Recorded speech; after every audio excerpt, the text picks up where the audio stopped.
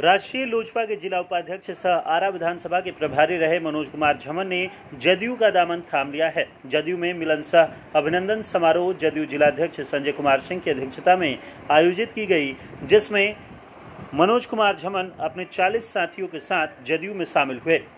कार्यक्रम का संचालन जदयू प्रवक्ता शंभु प्रसाद सोनी ने किया। कार्यक्रम में मनोज कुमार झमन और उनके साथ दल में 40 साथी शामिल हुए। पूर्व मंत्री सह जदयू के राष्ट्रीय महासचिव भगवान सिंह कुशवाहा पूर्व विधायक विजेंद्र सिंह यादव और उपस्थित दल के सैकड़ों साथियों के समक्ष जिला अध्यक्ष संजय कुमार सिंह द्वारा जदयू की सदस्यता दिलाई गई।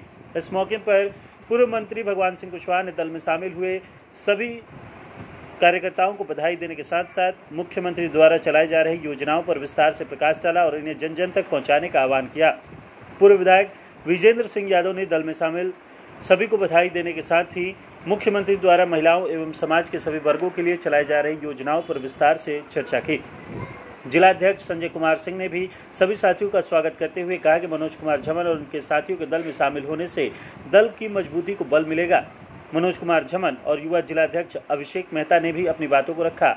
इस मौके पर भाजपा के नेता धर्मेंद्र कुमार गुप्ता, आशीष कुमार और पवन कुमार गुप्ता ने भी जदयू की सदस्यता ग्रहण की।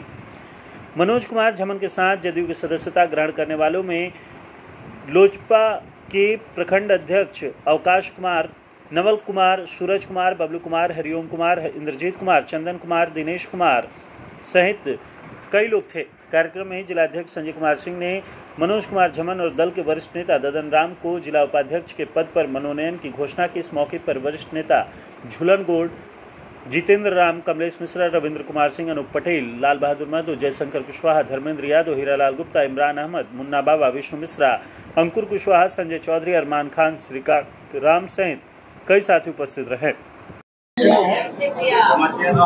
मैं सब लोगों को अपने तरफ़ से धन्यवाद देना चाहता हूँ।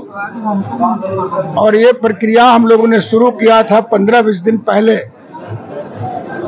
बराबर नीतीश कुमार जी को तारीफ़ करते थे कि माननीय नीतीश कुमार जी ने बिहार में बहुत बदलाव किए हैं। बिहार की सूरत बदल दिया है। और यहाँ सामाजिक समीकरण के अनुसार का दलित, का अति पिछड़ा, का महिला सबको सम्मान दिया है और सबको पंचायती राज में नगर निकाय के चुनाव में आरक्षण दिया है। तो नीतीश कुमार के काम से वो बहुत प्रभावित थे। तो हम लोगों ने उनको सलाह दिया था जब नीतीश कुमार के काम पसंद हैं तो मैं समझता हूँ उनके दल में आपको शामिल होना चाहिए। और दल में शामिल होकर के नीतीश कुमार जी ने जो कार्य कर रहे हैं, उनको जनता के बीच प्रचारित करना चाहिए और काम करना चाहिए। सहमति बन गई, आज तारीख भी मुकर हो गया। मैं अपने तरफ़ से पार्टी के तरफ़ से और पार्टी के राष्ट्रीय जनरल सेक्रेटरी होने के नाते पूरी पार्टी के तरफ़ से मैं उनको बहुत बहुत धन्यवाद देता हूँ और बहुत बहुत विश्वास करता हूँ कि उनको आने से आरा शहर में और आरा शहर के अगल बगल पार्टी का विस्तार होगा, बहुत सारे लोग जुड़ेंगे और उनके साथ लोग भी हैं। हम सबको साथी लोग को बधाई देते हैं। आइए मिलजुल करके एक नया बिहार एक सुंदर बिहार जो नीतीश कुमार ने कल्पना किया है वो बनाया जाए। इतने लोगों ने पार्टी में सदस्यता ग्रहण किया है क्या कहेंगे? कई लोग अभी और आने वाला है हम लोग के दल में। हम लोग हम जब से आए हैं श्री भगवान जी भी आए सब लोग आया पूरा दल टूट रहा है और इंडिया जो बना है नया महागठबंधन समझिए इसको तो पूरा देश में लहर चल रहा है कई राज्यों में इसका अभी जो अब प्रधानमंत्री का चुनाव तो नीतीश जी कई बार बोले हैं कि हम खाली भाजपा के विरोध में हम सब विरोधी को एक कर रहे हैं। कौन बनेगा प्रधानमंत्री? कोई हम कैंडिडेट नहीं है। और तेजस्वी जी भी बोले हैं। तो उसका तो बाद में फैसला होगा। और 24 में 80 बीस का लड़ाई है। इसमें कोई टिकने वाला नहीं है। नहीं तो आप वोट जोड़ लीजिए कि अब राजद, जेडीयू, माले, कांग्रेस और कई दल सीपीआई सीपीएम इस दल में जो जुड़ा है तो पूरा समझिए अस्सी बीस।